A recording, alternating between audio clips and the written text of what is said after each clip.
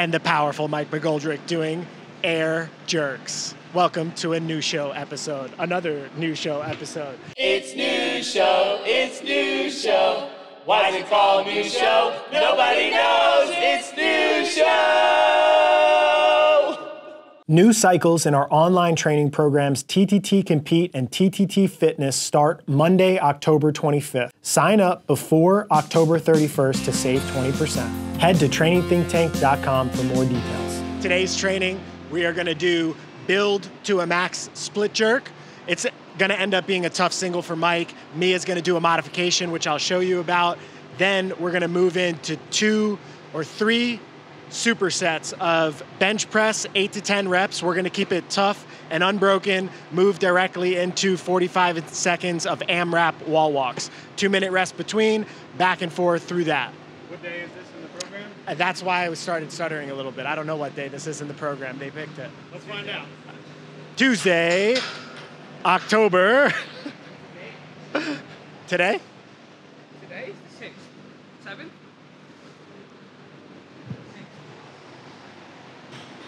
What? What's the question? October 19th. October 19th. All right. So Mike's going to build up to a relatively tough singles put, uh, split jerk. Mia is going to do a modification that I'm going to show you, and I'm going to give this handy mic to Chris. So if you jack your wrist up, can, how close does it need to be? I don't know. If people's wrists get jacked up, this front rack position and that extension starts to hurt people. So you can do a modification with straps like this. Set the straps up. Then you get into a front rack and hold on to the straps. It keeps your wrists in that neutral angle. So Mia is going to do jerk dip squats with the bar to protect her wrist. And then she's going to do split stance strict press with the dumbbells. Am I covering the new show thing? Just don't break it. Okay. expensive. All right. So that's what we're doing. They're going to warm up, and then I'll be back to talk about it.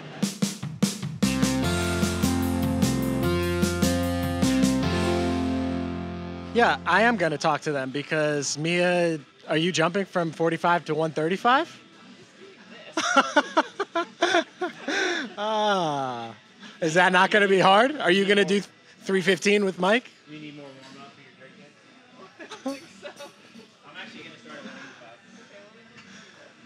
Did you even do any split jerks? Yeah. Oh, you did. Okay.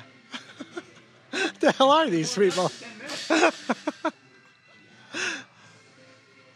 All right, so here's the modification Mia's doing for jerk dips. Should I give her cue corrections as we're doing this? Yeah. Nah, fuck it. You don't want to make me better. I feel like this is going to be a lot harder to talk about than a Metcon where there's things moving at a million miles an hour. Taking the wrong attitude. All right, so Mike's doing split jerks up to 180 or starting at 185. He's going to build up to he said somewhere around 315. So this is still like 50% for him, 60%. He's going to keep the day relatively technical. We're doing this strength session more as a model than a model for how you would go through a training session, how you would make modifications, and how you can use a competitive training program in an off season to continue getting stronger without really feeling like you're having to drop the hammer all the time. So Mike is getting back into training. So you've seen some some of these new shows, and it's probably been about a month now of him kind of getting back into training. But he generally, as a masters athlete, doesn't really try to start pushing a lot of super heavy loads until he gets closer to competition, which for him will be next year's Open. So in the off season for him, he kind of goes into maintenance mode on his strength work and puts a little bit more effort into energy system training. So he'll kind of keep this as just technical focus. Mia is currently nursing a little bit of a wrist thing. and yeah, no, she's just doing a little dead limp wrist, but she, uh, so she was going to jump in on this session. She generally, if she's building up to a max, she'll do push jerks, not split jerks. So what we decided with this session is to still give her a heavy neural stimulus that's related to the jerk, which would be the jerk dip squat, which you're about to watch right now. So basically, it's same type of position that you would get into front rack brace, dip down as if you were going to go into a split jerk. She's doing pause jerk dips here and back up. You can sometimes, if you're doing these, elevate the bar a little bit off your collarbone, but it's really just to train something really heavy in that front rack position and give you like that brain, central nervous system, high pressure stimulus. Then Mia's superset. I don't know if she's going right away. Are you going right away, Mia? Did you set a rest time for it? You're good? All right, go ahead. so she's going to do into the split stance. This was a, a and then she's just going to do dumbbell strict press. So her wrists don't bother her in this position. It's really just the super heavy front rack that bothers her. And she said that, and she's splitting splitting on both sides here and doing a couple reps on each side. So when she goes heavy, she uses the push jerk. You can see her stability here is not perfect. There's a little bit of wobble as she's trying to do that. So that's what the training effect for her is doing the split stance dumbbell strict press. I can't read that. That's so damn small, Chris. What does that say? Oh, okay. That's what Mia's doing. That's Mia's training session. All right. Now Mike, he's at 255. Let's see how it looks.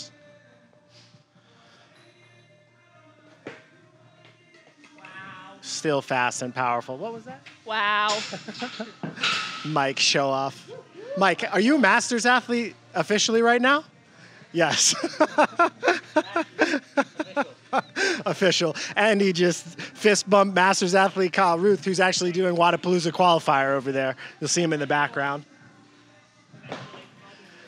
Oh, I thought it was just a little bit of a squat. I'm just kidding. I'm kidding. I'm kidding. I'm kidding. this is this is how things get out of hand at TTT. Max talks a little too much shit.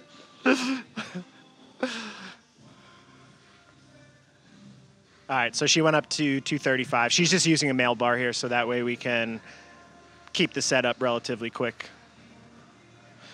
So same thing, into the jerk, pause, come back up.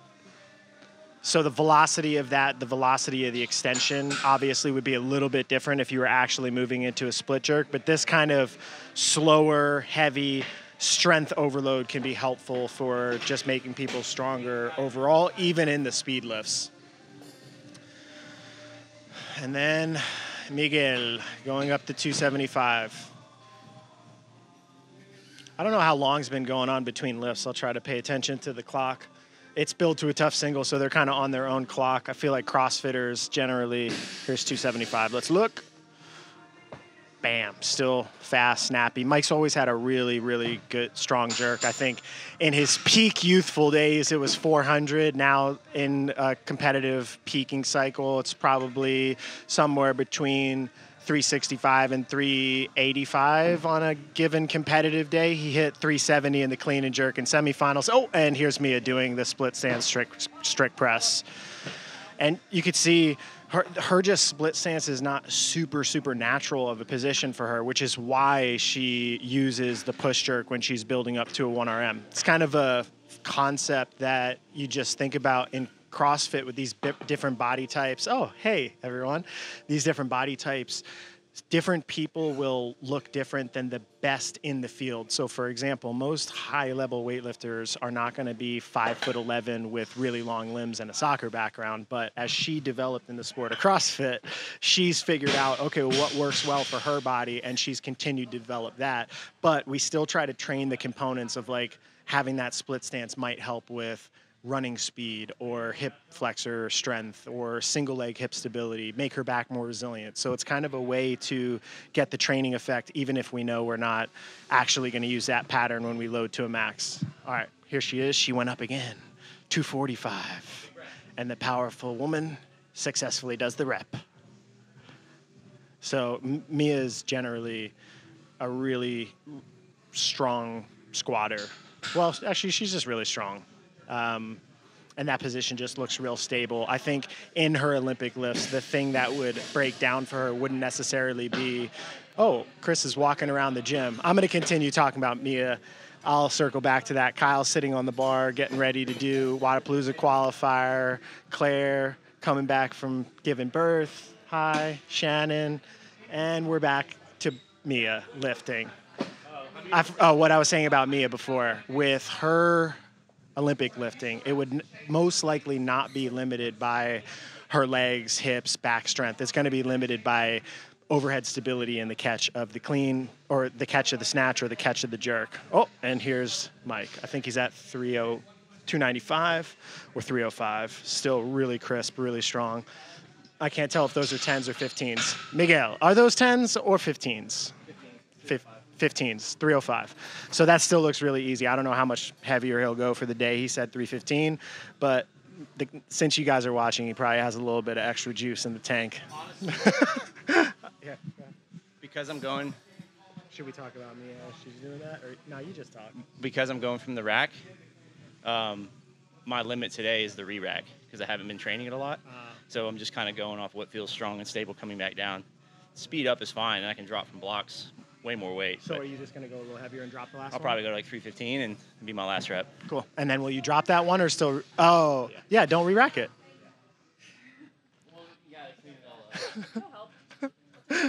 Chris torturing. I don't think he wanted to be on camera. Oh, and Brandon Dorman. I think they're talking strategy about Wodapalooza. Jacob Cantu in the background. Hey guys, now I'm over here. And Ryan over here. Should we get Ryan on? Talk about running? Sure. he would be so uncomfortable. Like, what? Why'd you ask me? Hey, Ryan.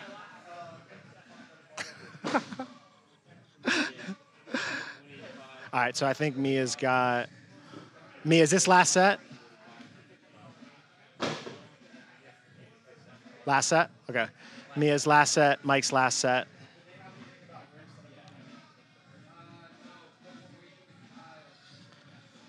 All right.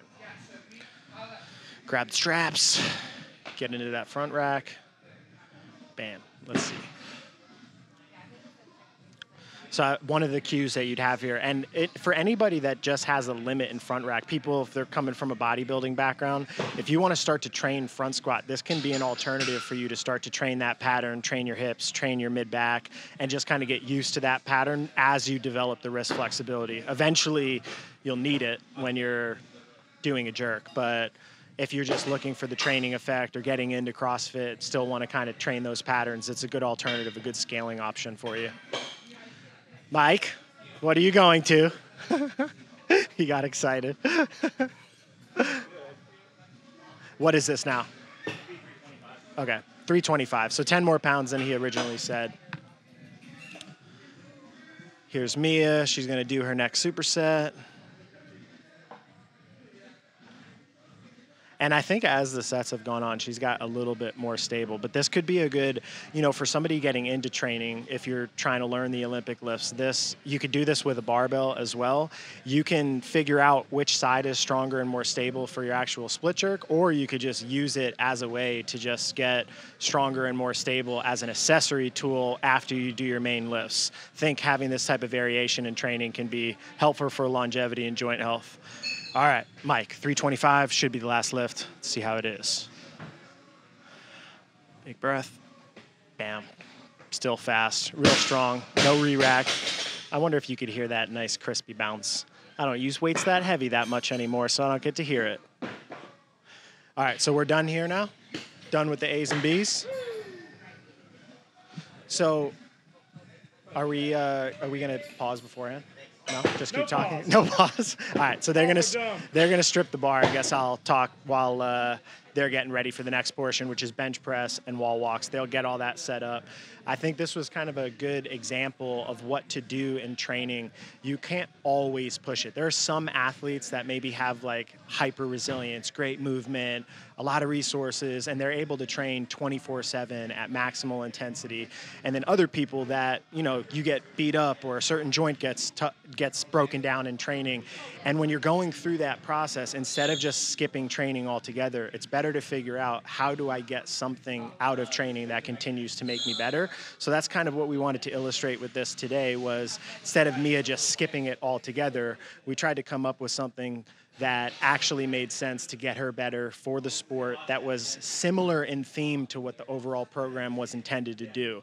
And that's what we do as coaches with our individual athletes, but we also do it when we're coaching a group, like in our TTT Compete program or TTT Fitness program. That's what we tell people to do is make adjustments when they're getting beat up or if something's get overrun. We try to educate people even in the beginning of it to figure out like how do you continue to have longevity because it's about doing it you know, eight out of 10 days consistently for years, more so than getting really amped up and sticking to it for a month or for two months. So that's kind of the culture we're trying to create and what we do create, and our coaches are trying to illustrate for you. All right, so now we're getting set up. Oh, we can't share bars here. We didn't think about that. Mia's bench press is not as big as Mike's bench press, um, and maybe different arm lengths. So they'll set up on different sides. Peek in on Kyle a little bit too. Yeah, we should get a little bit as he's going. Is he starting right now? Yeah. Ask Brandon what he's doing. Brandon. So Kyle is doing Wodapalooza qualifier workout number two, which is the uh, clean and jerk and then handstand walk. So it's five clean and jerks with 50 feet of handstand walking in between. He's going to start at 325, see how that feels. If he hits it, he may stay there or he'll drop to 305 for the rest of them. So we'll see. Cool. Interesting test. We actually had an athlete that PR'd in that type of format, which is crazy.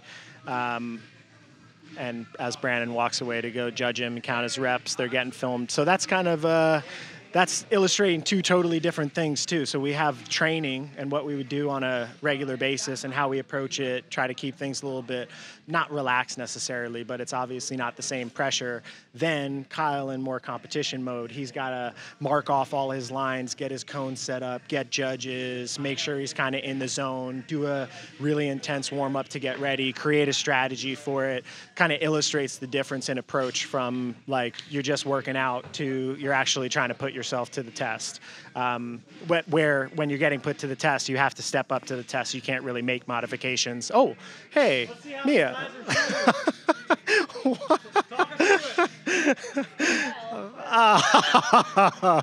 Those are her game shoes that she got. Uh, okay. I, I don't know how to talk to you. It's there's only really two options: bunny ears or the what's that? The loop de doop. Yeah, the loop de doop. The pull around loop de doop pull through thingy majiggy. Leave a comment. Leave a comment on YouTube if you do bunny ears or loop de doop. Is that that is the loop de I don't know. I just coined the term. I do bunny ears. What do you do? I do the loop de doop. Oh, see, I don't know how to do the loop de doop. Yeah. I asked Ryan the other day to show me. He didn't know either. He bunny ears? I think. Okay. Did you just make that up? No. Ryan, weren't we talking about how to Bunny ears? Do you use bunny ears? How do you not remember? You just oh, you just do it Well, automatically. here's what I do. I just take the laces out, and then you're good. See? Ah, that's nice. Oh, here in the background, Kyle's about to start. Let's watch his first his first lift. Too heavy. So his first lift, he was going to try to open 325. And the first lift, you're fresh, so you have the opportunity to pretty much go as heavy as you want. So he's trying to build up to a tough single. He, I think he's going to probably drop down from where he was there, but he's allowed to then now reset the clock. He'll figure out what his opener is going to be or attempt that same weight again. And then once he hits that first one, he'll start his handstand walk and dictate what the clean and jerk times are afterwards because this is a, more of a workout at this stage for somebody that's at this level of handstand walking. It's more figuring out how to strategize to get as big of a lift as you can because the handstand walk is not that high a volume for uh, an athlete there. All right, so back to the training over here. Mike's at 185. Mia is warming up. This is your first set? Yeah, I can start now. Okay. And Kyle's going to do one more lift. Let's watch and see. All right, see if he has more pull. Nice. A lot better. Come on.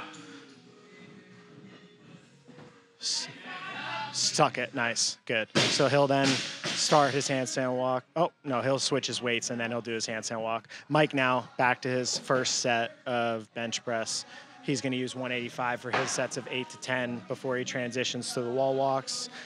Mia, I don't know what she's building up to. I'll ask her where she's going, but she looked like she's taking more of a extensive warm up for these. One thing too, just to notice about CrossFitters relative to like bodybuilding communities or football cultures is that uh, it seems bench press relative to the all the strength things is a little bit less as an overall metric. Like, yeah, that's his first work set. What do you? Uh, Mia just said he didn't measure his wall walk line. Oh, and Chris is filming. Chris is filming Kyle. What the hell's going on here? All right, so Kyle did his handstand walk, and then he is now going back over to Mike. So Mike's going to do 45 seconds of handstand walk. He started. It's 115 on the clock over here. So one rep took about six seconds. Oh, and now back to Kyle doing a lift. Good. Another successful lift.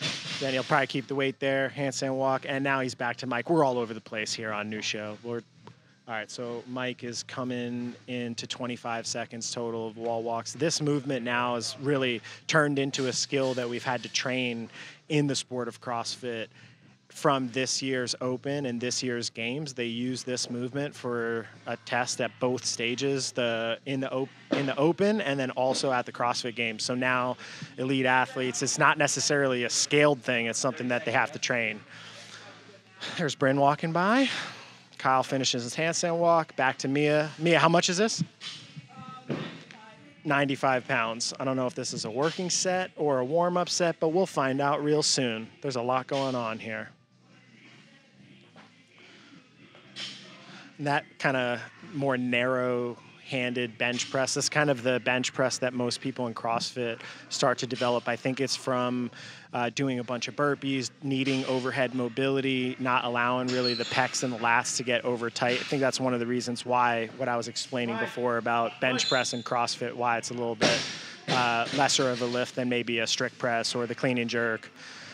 You just saw Kyle hit another successful lift, and now he's starting his handstand walk. And now we're up to Mia, who is measuring her line.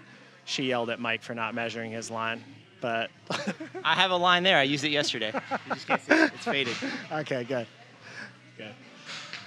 All right, so Mia's going to do 45 seconds of wall walks here. Mia's kind of worked, she does for all the gymnastics, she works to try to really refine her movement, the way that she does things, uh, and she's done that with the wall walk. After it came out in the open, she's tried to figure out what's the most optimal way for her to do it. Um, and again, it's one of those things that I think if you have, you know, a body type that's not necessarily a gymnast type body and you have to figure out how to excel in a sport that tests a lot of gymnastics. She's had to put a lot of time into body line, body control, uh, figuring out what works for her. Um, and it's showing that she's basically just sprinted wall walks for 45 seconds. And now, time. All right.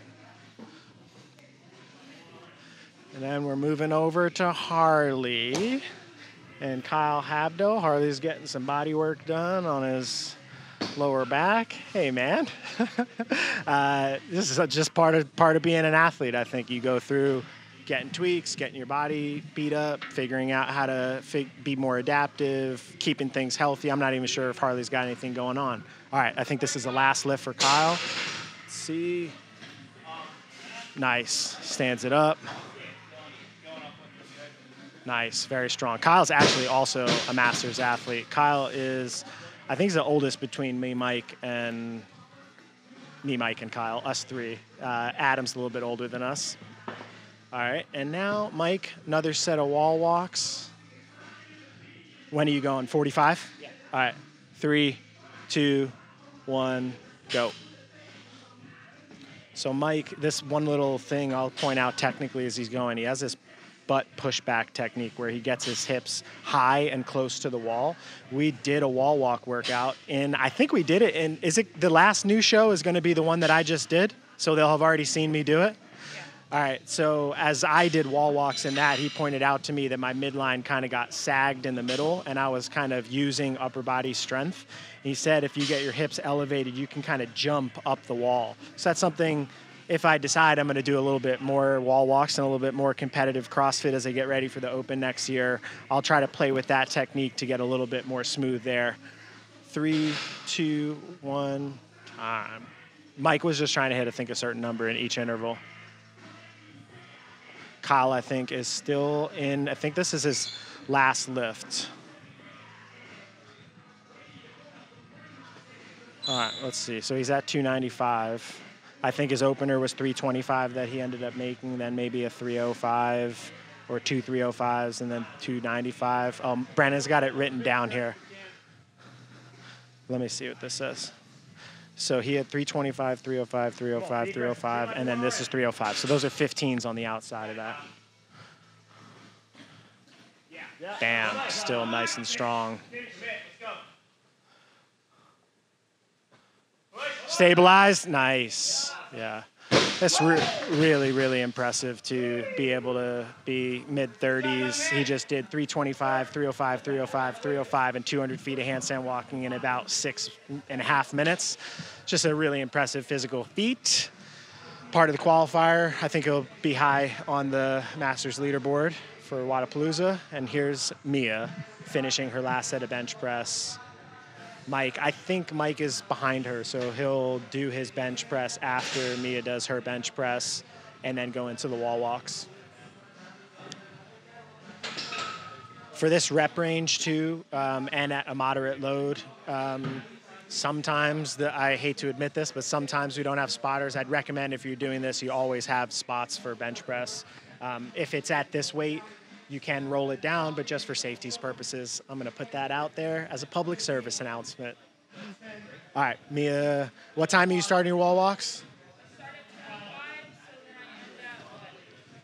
Uh, 10. Yeah. Two, one, go. All right, so Mia's got one more set of wall walks to do there. Mike's going to start his bench press. This, for just people in training, this uh, can almost feel bodybuilding esque. And I think this is one of the reasons why some people actually get more muscular doing CrossFit, doing a bunch of upper body strength training here. And then the contractions there, they're a little bit more straight arm, but they're pretty shoulder and arm intensive. So this type of training can also be looked at as bodybuilding. We used to joke around earlier, maybe it's nerdy of us to say, but like all training is training, that CrossFit's not really that much different than bodybuilding or endurance training. It's kind of all principles that govern it. All right, Mia just finished her last set of wall walks. I think Mike has one more set of wall walks, and then it'll be our goodbye for the day on New Show. They're talking over. Oh, and Jacob is getting the measuring stick. What is it? The measuring tape back in its little box. All right, Mike finishing his last set of wall walks, so he's starting. They kind of went into it with a different intention. You couldn't hear them talking earlier, but Mia was saying that she was sprinting them. Mike was going more technical, just trying to get a certain number of reps. And I think that's a theme that you'll see with Masters athletes. And it's kind of interesting that Kyle was competing here and Mike is a competitor and was on our games team that they go through these cycles of less intensity and more intensity pretty regularly. And i think that's helped with longevity. Mike's been doing crossfit since 2009 or 10 and was in the games in 2013 and then again in 2021 so it shows a pretty wide uh, history of competing. Did you ask how much that was? No one was counting man. I was blabbing Hey, let's go talk to Kyle about what he did. All right. Chris just said, let's go talk to Kyle about what he did. Are you done? Yeah, I'm done. Okay, so you can talk. Yeah. I don't know. Can I talk? What do I do with my hands? Tell us.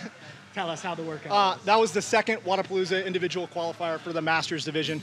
Um, that was what seven minute. It was like seven minute cap. You got five attempts at a clean and jerk with a 50 foot handstand walk between each one. I went 325, 305, 305, 305, 305. You missed your first one Yeah, I just started. Yeah, so at 325. yeah, I don't want to give away secrets, but if your This workout, is gonna be after. yeah, This will be after. if your workout starts with a 1RM, do your 1RM attempt, and if you miss, just start your clock and your camera over and do it again. veteran play uh, from a veteran athlete. All right, so Kyle's done with the qualifier. Mike and Mia. Oh, Mia's got one more set. Oh, Mike warmed up so fast. I Mia said, I'm real bad at counting. I'm gonna make her do this one time and try to pay attention to everything going on and talk at the same time. See if she counts. That's true. I did.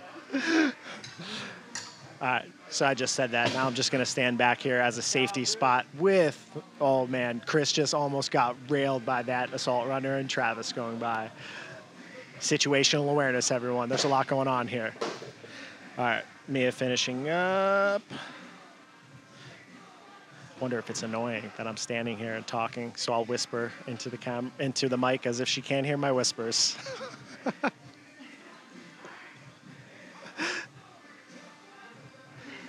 Done. All right, so last set of bench there, and then moving into a 45 second wall walk to finish. The actual training day, we didn't give away the full training day. Will we write that up? You want to just tell them, go look at the computer and tell them what the next Yeah, Mike, can you pull up the computer and get what the next part of this training day is? Can you get the next part of this training day? Can you just get your computer so I could explain to them what it is? All right, so we'll watch Mia do this last set of wall walks and then I'll explain what the rest of the training day is in this training day. Mia and Mike were just demoing the first portion of it.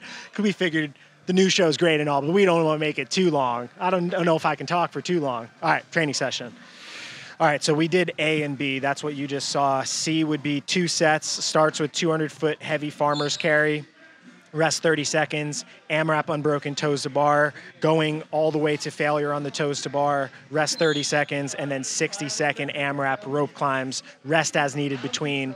Then the CrossFit portion of the day is on the three minutes for six to 10 sets, 500 meter row. Intention for there is sustained interv- Yeah. interval speed, right? Yeah, it's it's repeatable efforts at the highest sustainable pace you can hold. Six to ten, that's obviously like what 18 to 30 minutes of work. So it just really depends on how much uh, volume someone has in the day, or how much time they have for volume in the day. Yeah, so a 500 for people like ranging from elite to just regular would be somewhere between a 135 and like a 215, Yeah. which means you're getting uh, like 120 to 45 seconds of rest per set. Yep. And that's the whole training day.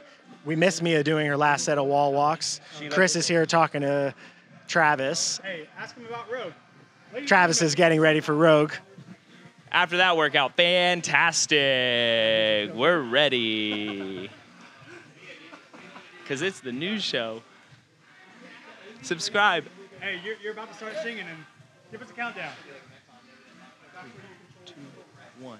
It's the new show. new show. Why is it called new show? Nobody knows. It's new show. I just meant I was going to play it. Hey, leave us a comment if you would like to see a 90 minute episode where we did the full training. Are y'all into that? Do y'all want to see a long session? Let us know. It's new show. It's new show. Why is it called new show? Nobody knows. It's new show.